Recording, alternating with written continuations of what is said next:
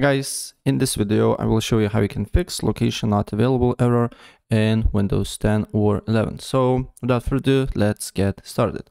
First of all, what you need to do here, you need to open up your uh, disk. Uh, so for me is the disk C. And then you need to go to uh, Windows folder. Then you need to go to uh, System32. It should be here. Then you need to go to config here. Then you need to uh, go to system profile and on app data, you just need to create new folder and name it uh, desktop, right?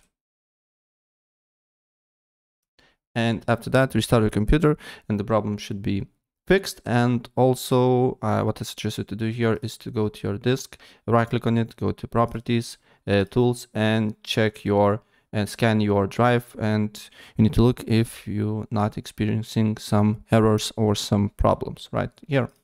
Right and that's pretty much it. So if i help you out please press like button and subscribe for more. Take care